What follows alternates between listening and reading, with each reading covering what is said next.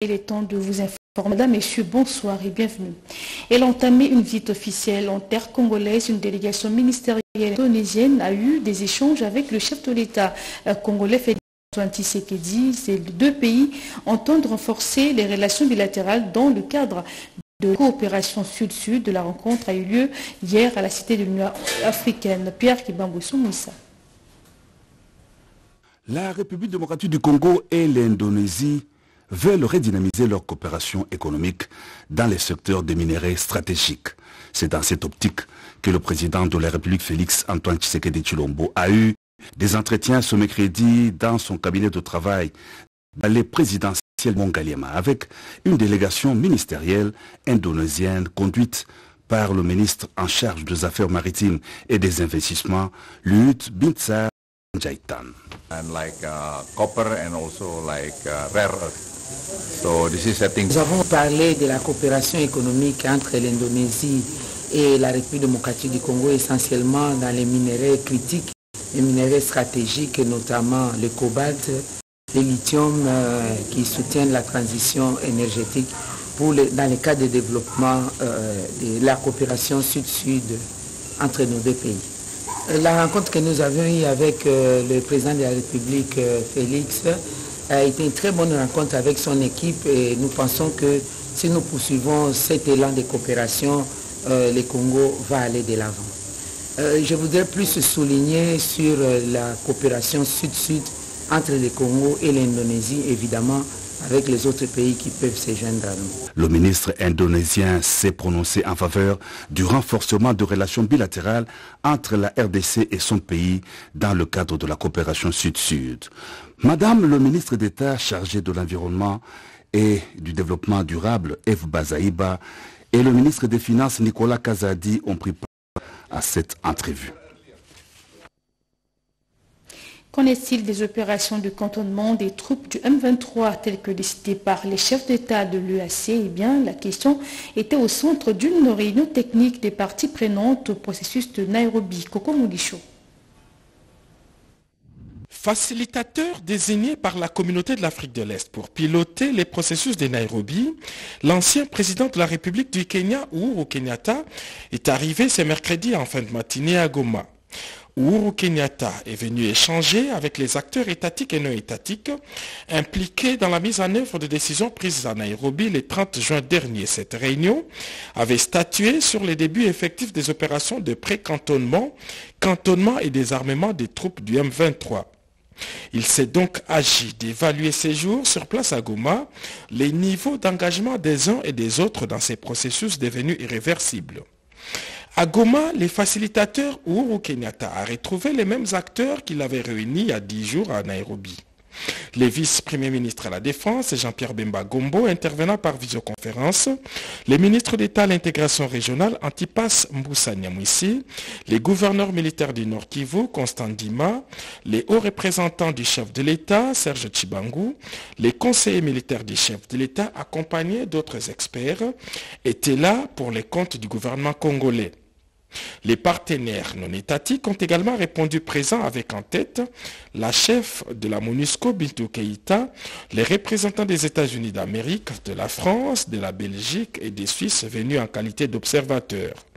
Les commandements militaires de la force régionale de l'EAC et le représentant de l'Angola ont également participé à cette deuxième réunion technique. Après échange, les parties prenantes ont noté avec satisfaction les actions menées par les gouvernements de la République pour faire aboutir les processus, même s'il reste encore beaucoup à faire. Le processus est irréversible. Il va être question, dès demain matin d'ailleurs, que les équipes techniques se réunissent autour du gouverneur militaire pour voir comment on peut déployer les effets nécessaires à Rumangabo afin de le rendre capable de recevoir les, pour le précantonnement les éléments prévus à cet effet. Vous savez que tout ce processus-là est assez laborieux, il faut des consultations permanentes. Ce que je peux dire, c'est que tout va bien. Le gouvernement a fait ce qu'il devait faire, il a amené tout le matériel nécessaire sur place au lieu de laisser toute la charge aux Nations Unies à la MONUSCO ce qui permet d'aller un peu plus vite dans la mise en œuvre de la possibilité de, rendre Romangabo capable de recevoir des éléments nécessaires pour cela. Tout en rappelant les caractères obligatoires du respect de la feuille de route de Luanda, Rumangabo et Kindu attendent de recevoir le premier corps habillé qui ont choisi la voie de la résolution pacifique. Toutefois, les forces de défense et de sécurité de la République démocratique du Congo se tiennent prêtes à défendre l'intégrité du territoire national. La nouvelle est tombée depuis ce matin. Chez Robin Okende, ancien ministre des Transports, s'en est allé. Le corps sans vie euh, du proche collaborateur de l'opposé congolais, Maurice Katumba, a été retrouvé à l'intérieur d'un véhicule de marque Lexus ce jeudi à Kinshasa. Plusieurs sources affirment qu'il aurait été victime des bandits armés. Le député était vêtu d'une chemise blanche couverte de sang. La police scientifique est intervenue sur la scène du crime avant que la dépouille ne soit emmenée à la morgue. Le point complet tout à l'heure, aux 20h. Euh, comment développer le secteur énergétique en République démocratique du Congo? Ce programme ambitieux a été développé lors des échanges entre le ministre congolais des ressources hydrauliques et l'ambassadeur de la Suisse en RDC, Marie Kalong.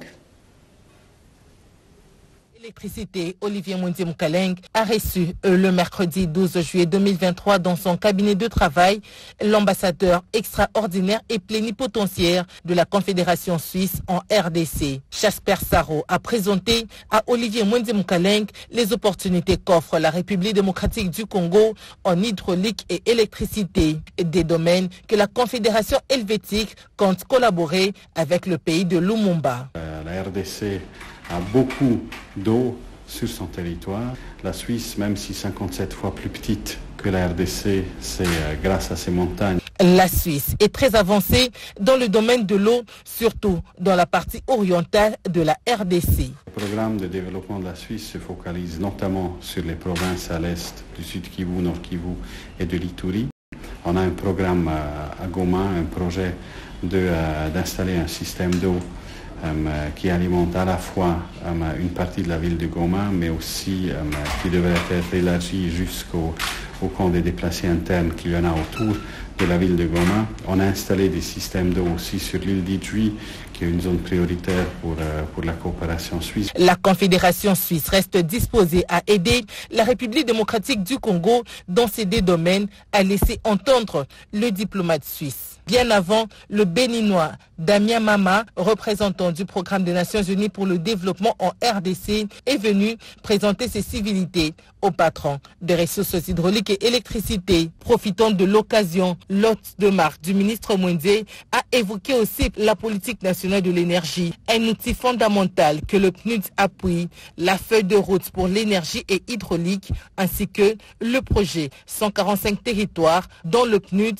est l'une des agences d'exécution sur toute l'étendue du territoire national.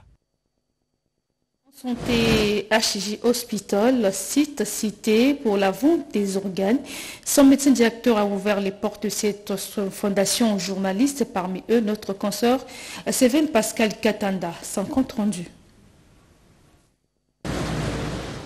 Cité dans l'affaire des ventes des organes vitaux, le centre hospitalier HJ a fait visiter à la presse le mercredi 12 juillet 2023 les installations de la fondation HJ Hospital de Kassavoubou, site cité par ses détracteurs comme lieu de conservation des organes humains. Il ne s'agit que d'une mauvaise campagne contre l'hôpital HJ dont le site n'offre que des services médicaux. Le docteur Bangambe Joseph, médecin directeur de cet hôpital, fait savoir que son institution ne possède aucun plateau technique pour la transplantation des organes vitaux. La CG Fondation avait décidé d'aider, de faire ces séances de dialyse ici gratuitement. Dans notre pays, la loi n'autorise pas qu'on fasse la transplantation d'organes. Donc aucun hôpital ARC ne fait la transplantation d'organes d'une façon générale. Nous n'avons pas toutes les conditions nécessaires pour faire cette transplantation d'organes et c'est de l'hyperspécialisation. C'est de l'hyperspécialisation. Et donc même si on doit enlever un organe, ces organes, c'est une affaire de quelques heures. Des propos qui ne fait que confirmer ceux déjà dits par le vice-ministre de la Santé publique, Hygiène et Prévention. Et pourront bientôt obtenir le numéro d'ordre. Le Conseil d'État vient donc de trancher en, faveur des, journalistes, des finalistes en médecine euh, qui sont jusqu'ici dans l'attente. Les détails avec Fifi Mokundi.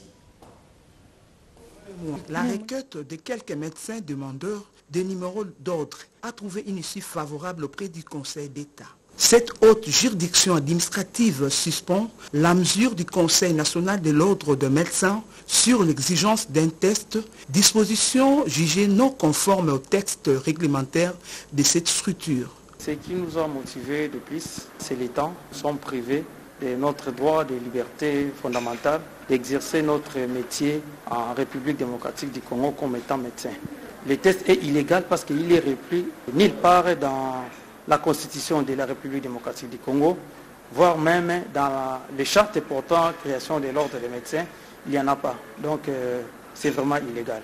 Les critères euh, euh, qu'on a constaté sur les tests instaurés par le Conseil national de l'ordre des médecins, qui est vraiment discriminatoire, d'autres universités les font, tandis que d'autres ne les font pas. Ces blouses blanches attendent impatiemment l'exécution de la dite décision. Nous attendons en urgence la mise en application de cette décision parce que nous avons déjà passé plus de 5 ans, vous voyez, le temps est largement dépassé.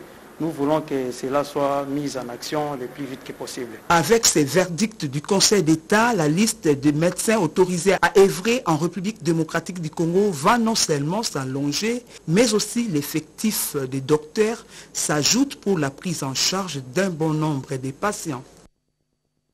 Processus électoral, on en parle dans ce journal. L'opération de réception et de traitement des candidatures se poursuit dans la province de Lituri, confirmation faite par notre permanent sur place. Les développements des entités administratives de la République démocratique du Congo passent également par la contribution des hommes de bonne volonté, les acteurs qui viennent en appui des actions gouvernementales. Les cas de Toussema Sikini, natif de la commune de Lingwala, qui veut booster le développement de cette municipalité à travers la fondation qui porte son nom, en unissant une approche de conscientisation des habitants de Lingwala à l'amour de la patrie, à la solidarité et à l'union. Chacun dans sa dimension et dans son secteur d'activité. Raison de plus pour les associations sans but lucratif à l'instar de la fondation Toussaint Massikini, de se diriger en structure d'appui aux actions du gouvernement, mieux aux actions de l'État. À ces stades, qu'il me soit permis que nous martelions sur un fait. La fondation Toussaint Massikini n'est pas un parti politique. Lingwala, c'est ma parcelle. Ce slogan de la fondation Toussaint Massikini s'explique par les actions de ces notables qui ne lésinent pas sur les moyens pour atteindre ces objectifs sociaux.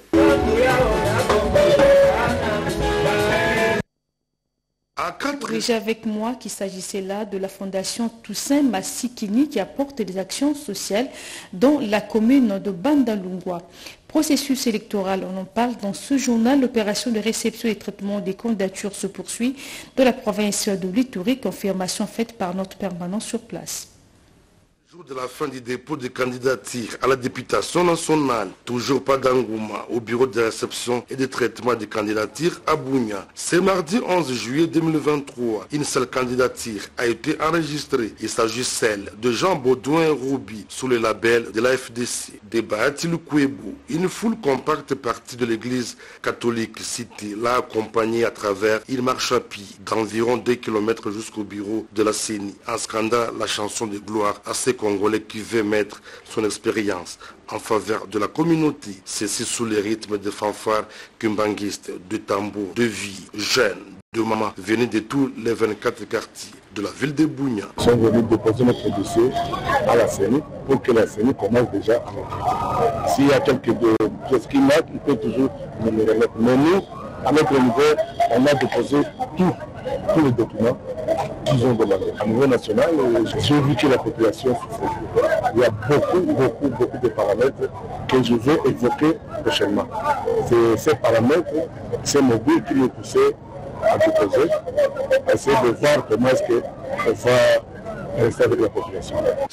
Épalonquier, Jean Baudouin Bassongo Roubi procède depuis plusieurs mois à une série de sensibilisations de différentes couches itouriennes vivant en ville de Bougna sur la culture de la paix et du développement et surtout de la cohésion sociale en organisant un tournoi interquartier. Question de matérialiser la vision du président de la République, Félix Antoine Chilombo, du gouvernement militaire, le lieutenant général Lubuyanka Jouni. Rappelons que, selon la CENI, la clôture du dépôt de candidature à la législature nationale est fixée à ce samedi 15 juillet 2023. Dans la province du Maïndombe, les bureaux sont toujours ouverts. Ils, portent, ils formeront leur porte également le 15 juillet 2023.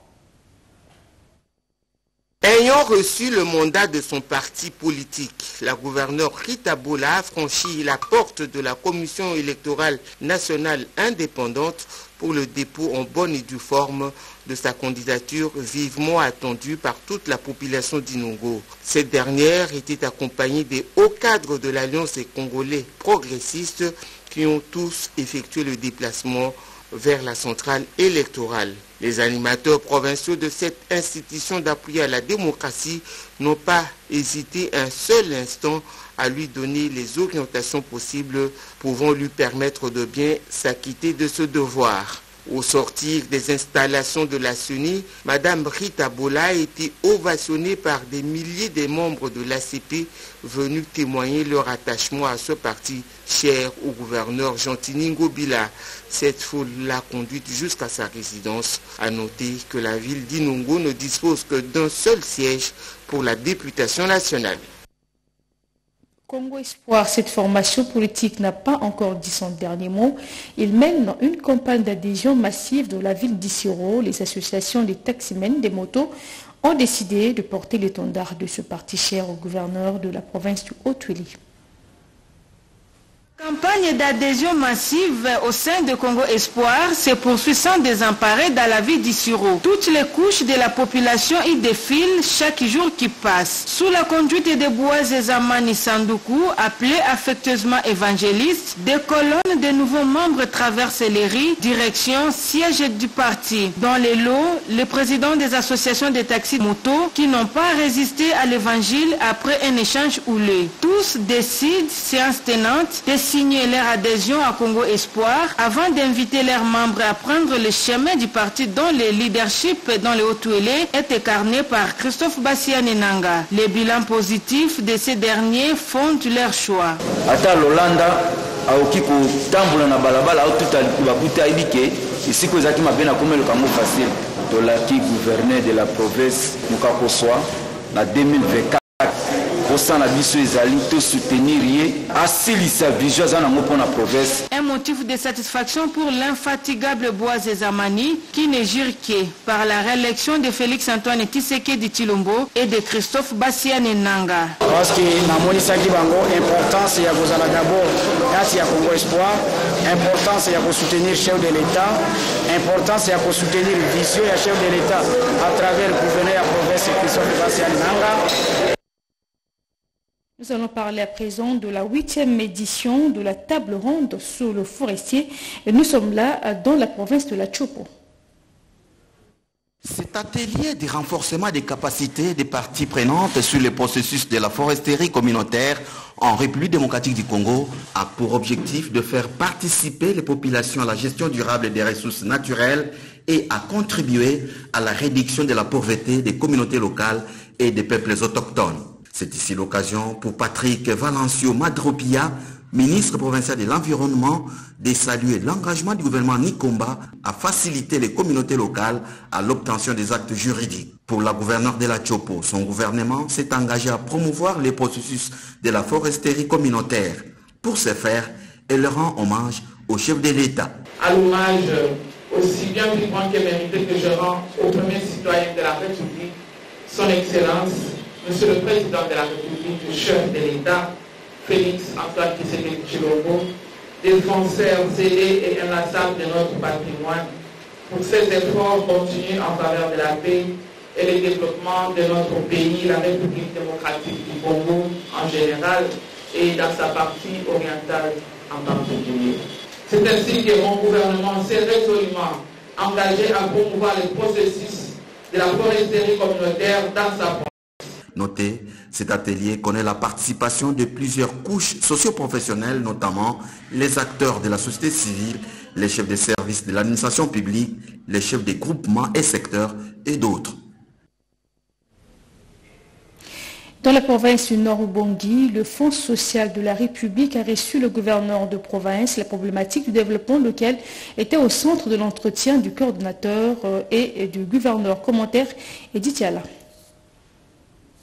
de la République nouvelle version et le Nord-Ubangui, le cap est fixé pour un développement à la base. Le coordonnateur du Fonds social de la République, Philippe Ngwala Malemba, a échangé avec le gouverneur du Nord-Ubangui, Malo Mobutu Ndima. Des questions générales de développement comme le désenclavement qui nécessitent d'importants moyens financiers étaient sur la table. Fuité à mobilisation des ressources, le coordonnateur du Fonds social de la République, qui était accompagné de Nathan Tumbadiboué, coordonnateur adjoint du fonds, a rassuré le gouverneur du Nord-Ubangui de son implication dans la recherche des solutions. Le gouverneur a profité de l'occasion pour solliciter la prise en compte des compétences locales dans la gestion du fonds section provinciale du Nord-Ubangui. C'était euh, une réunion euh, de contact et de comprendre également où est-ce que le fonds social euh, est en train d'aller aujourd'hui, et plus particulièrement la province du Nord-Ubangui. Je pense que toutes les garanties ont été données. Nous allons travailler en bonne collaboration et nous allons permettre au Fonds social, comme à la province du Nord-Ubangui, de partager leur expérience et de faire avancer les dossiers qui étaient restés en suspens lors de ce, de ce renouveau du Fonds social. Des projets seront menés par le Fonds social de la République dans cette province avec l'appui des partenaires au développement afin qu'un jour nouveau s'élève sur les terres du maréchal.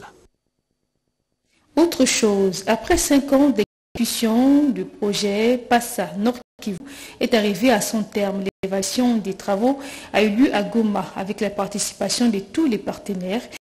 Ces séances ont été présidées par le coordinateur national du dit projet. Images et commentaires.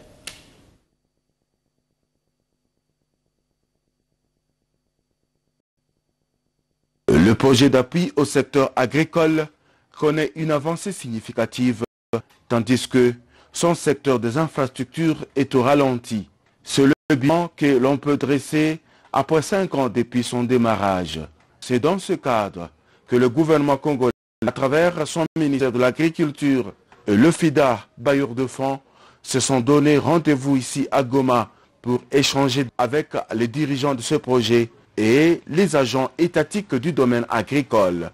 Joseph Matungoulou, coordonnateur national de Passa NK et l'animateur principal de ce forum. La mission de supervision du Passa Nord s'inscrit dans le cadre de suivi et même d'appui au projet pour évaluer le niveau d'avancement du projet depuis son démarrage jusqu'à jour mais aussi essayer d'évaluer le niveau de mise en œuvre des recommandations des missions antérieures. En quoi s'attend le bailleur de FIDA, Wali Diouf, chargé de programme du FIDA en RDC, explique. Suite à cette mission de supervision, des recommandations fortes seront faites. Ces recommandations iront dans le sens effectivement d'améliorer la mise en œuvre du projet, voir quelles sont les prises pour contourner les difficultés liées à la sécurité faire de sorte que les petits producteurs qui sont dans une zone de crise puissent effectivement continuer à, à bénéficier des appuis du projet. Cette mission de supervision va se clôturer le 21 juillet prochain où toutes les parties mettront ensemble un cadre de données devant servir au bénéfice des producteurs agricoles visés par ce projet du gouvernement congolais. Deux clubs champions de l'entente de volleyball de Lumbashi ont remporté les coupes. Elles les ont présentées hier au maire de la ville de Lumbashi sous la conduite de l'honorable Modeste Baloy. L'entente urbaine de volleyball de Lumbashi, VC Fort du Progrès chez les dames et VC Mazembe chez les messieurs, conduit par l'honorable Modeste Baloy, président de la commission sport à l'Assemblée provinciale du Haut-Katonga, ont présenté leurs trophées au premier sportif louchois Martin Kazembe Choula. Les deux coupes ont été remportées à l'issue des compétitions de huit clubs, dont quatre chez les dames et quatre autres chez les messieurs, sur une période allant du mois d'avril au mois de juin 2023.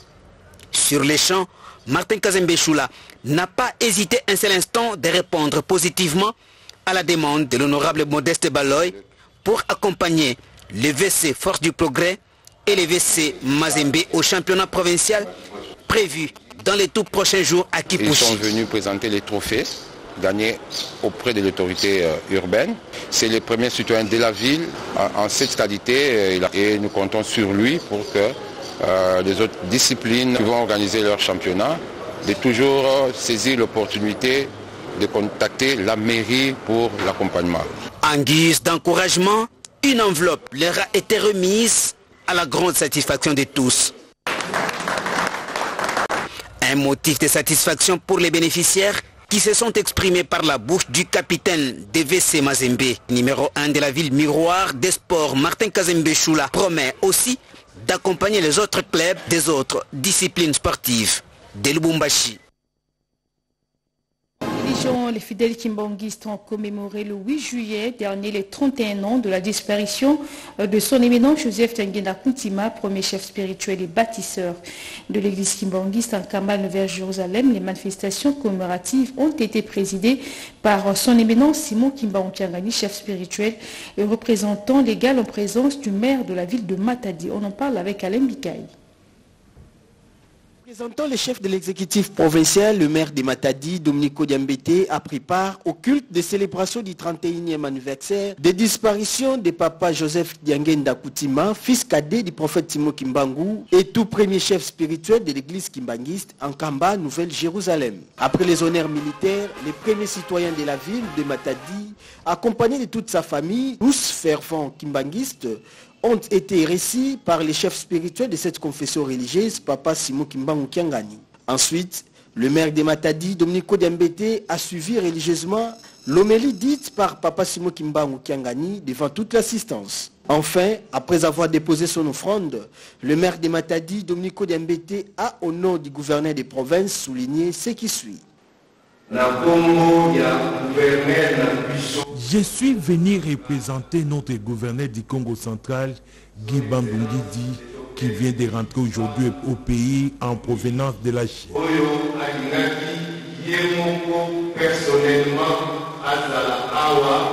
Comme vous le savez, les gouverneurs n'hésitent pas un seul instant pour répondre à l'invitation de l'église Kimbangis. L'église Kimbangis est un patrimoine national et elle a le soutien de toutes les autorités du pays. papa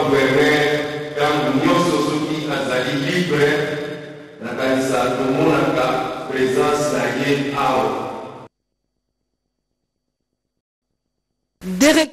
une projection d'une étude scientifique sur la performance de la Société nationale de sécurité sociale a été défendue par le docteur Kankolo à Genève en Suisse. Objectif, améliorer la sécurité sociale des travailleurs en RDC. Des recommandations pour relever les défis auxquels la RDC est confrontée dans son secteur démographique d'environ 192 millions d'habitants d'ici 2050. Ceci ressort de cette étude de projection sur la performance de la Caisse nationale de sécurité sociale à l'RDC menée à Genève en Suisse par le professeur Dr John Kakolo à l'école de management et de communication en gestion et administration des entreprises dans un modèle d'écosystème pour une organisation non marchande et à vocation publique dont l'objectif étant d'améliorer l'accès de la performance. La performance programmatique qui concerne l'efficacité du système de sécurité sociale mis en place dans un pays. La performance de gestion organisationnelle qui concerne le fonctionnement interne de la caisse, dont la performance opérationnelle. La performance systémique d'interface qui a trait à la dynamique relationnelle de la caisse avec ses partenaires. Il s'agit bien des contributeurs et des bénéficiaires. La performance de la gouvernance qui concerne les instances gouvernantes de la CNRS, les instances instituantes du conseil d'administration, en présence des éminents professeurs Jean-Paul Favre de la France et Mingoy Songo de la République démocratique du Congo, pour ne citer que cela. Les docteurs qui entrent désormais dans un cercle fermé des chercheurs apportent des voies d'amélioration des différents niveaux de performance adressés à la CNCS, les entreprises et travailleurs sur des solutions de l'écosystème et innovantes en République démocratique du Congo. 50 ans d'existence, ça se fête. La paroisse catholique Yesu Christo Nto Luzingu, dans la ville de Bandundu, célèbre le cinquantenaire de son existence. Cette occasion, les prêtres et diacres ont reçu l'ordination sacerdotale des mains de Monseigneur Jean-Pierre Kwabamba. Chants, danse et cris d'allégresse au rythme de la culture locale, c'est ce décor qui a accompagné le dimanche 9 juillet 2023 la célébration du cinquantenaire de la paroisse Jésus Christou Ntoluzingu dans la ville de Bandundu, diocèse de Kenge, province du Kwilu. La grande messe organisée en plein air pour la circonstance a connu deux événements. D'abord les cinquantenaires, puis ensuite l'ordination des religieux dont deux prêtres et six diacres ordination sacerdotale présidée par Monseigneur Jean-Pierre Wambamba, évêque du diocèse de Kenge. Le gouverneur de la province du Kwilu, Willy Itundala, a été représenté à cette cérémonie par son vice-gouverneur Félicien Kiwai, qui a profité de l'occasion pour appeler les responsables de l'Église catholique et l'ensemble de la population à une franche collaboration entre les diocèses de Kenge. Je voudrais remercier très sincèrement son Excellence Monsieur le Président de la République, Félix Antoine Tshisekedi Chilombo, chef de l'État, pour l'intérêt majeur qu'il porte à ces manifestations en marquant sa présence par l'ordre qu'il nous a donné de représenter personnellement en tant que son représentant en province. Monseigneur, ma population et moi-même vous remercie et vous félicite pour tout ce que notre diocèse. Monseigneur, j'insiste sur cette relation que le gouvernement provincial envers vous parce que vous êtes un homme de valeur, un homme rempli de sagesse. 50 ans de la paroisse Jésus Christou Ntoluzingu, ce jubilé d'or marque déjà le pas vers les centenaires de ce journal. Merci de votre fidélité et attention particulière. Merci à Rodépanda Jonathan Balama pour sa réalisation, Keren Kakolunga concourt à sa rédaction. Prochain rendez-vous avec l'information de tout à l'heure à 20h dans une présentation de Sandra Nyangitabou. Je vous retrouve très prochainement.